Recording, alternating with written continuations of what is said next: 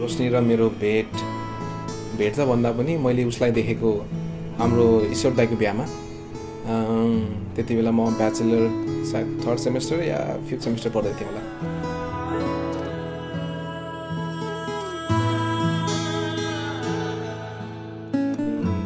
त्यसपछि बिस्तारै बिस्तारै फेसबुकमा एड गर्ने। लगायतका कुराहरू भयो। अनि एड गर्दा पनि अब उसले चाहिँ रिक्वेस्ट एक्सेप्ट नगर्ने। पछि चाहिँ म्युचुअल फ्रेन्ड देखेर चाहिँ बल्ल मेरो फ्रेन्ड रिक्वेस्ट एक्सेप्ट गर्यो। र मैले हाई लेख्छु भनिसकेपछि उसले एक हप्तापछि बल्ल हेलो लेख्ने। त्यस्तो कुरा थियो।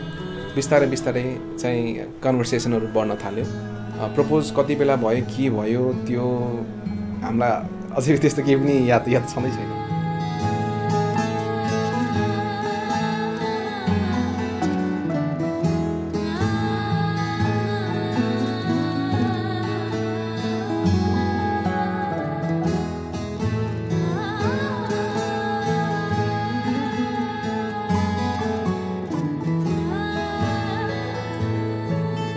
रिलेसनसिप अझै बढी बन्डिङ धेरै भइसकेपछि दुवै फ्यामिलीलाई चाहिँ अब साथमा लिएर जाउँ न कुराकानी गरौँ।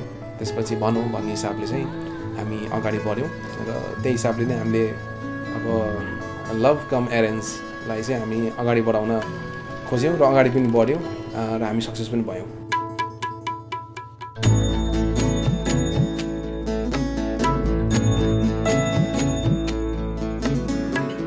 उसले एकदमै राम्रो साथी उसले एकदमै राम्रो हुनेवाला husband as a true friend as a lover as a companion as a colleague हरेक कुरामा साथमा साथ दिएर हिँड्ने खालको मान्छे चाहिँ उसले पाइरहेको छ। त्यसमा कुनै पनि उसले नराम्रो मान्नुपर्ने केही पनि छैन।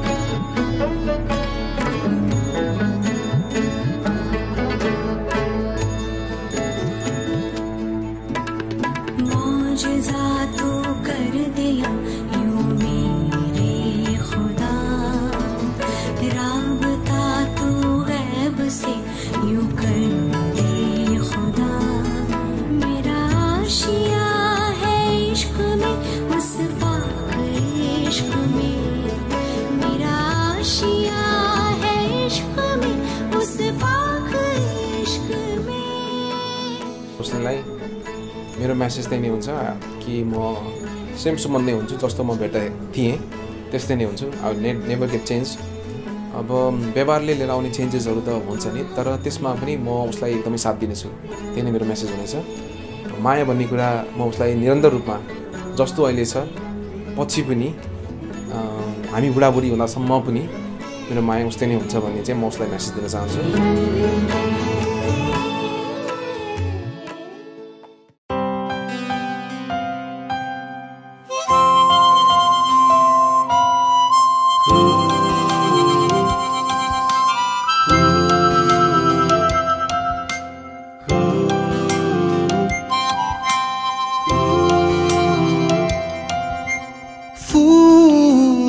ठानु या जुन मानु तिमीलाई तिमीलाई तिमीलाई तिमीलाई फुल ठानु या जुन मानु आँखामा राखु या मुटुमा सजाऊ तिमीलाई तिमीलाई तिमीलाई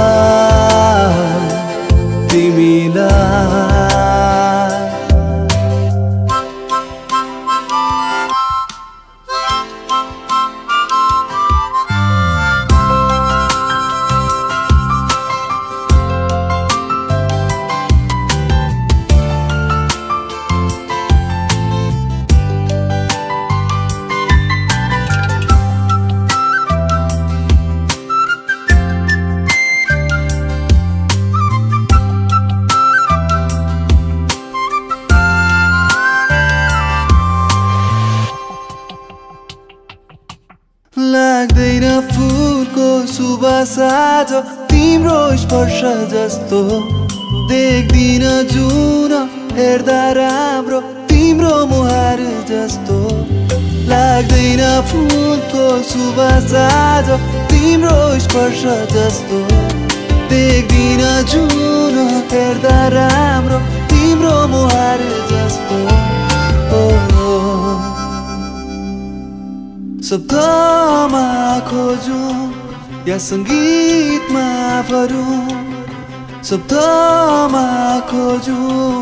या सङ्गीतमा भरौँ तिमीलाई तिमीलाई तिमीलाई।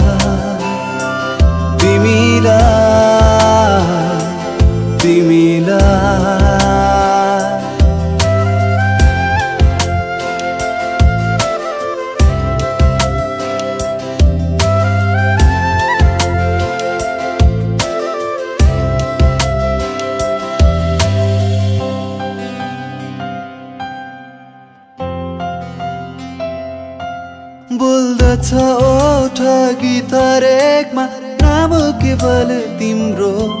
मान्दछ मन आवाज मिठो पाउँदा साथ तिम्रो। बोल्दछ ओठ गीत रेकमा नाम केवल तिम्रो। मान्दछ मन आवाज मिठो पाउँदा साथ तिम्रो। ओ।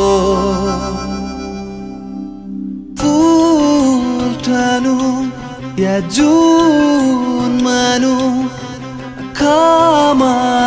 खु त्यहाँ मुटुमा सजा तिमीलाई तिमीलाई तिमीलाई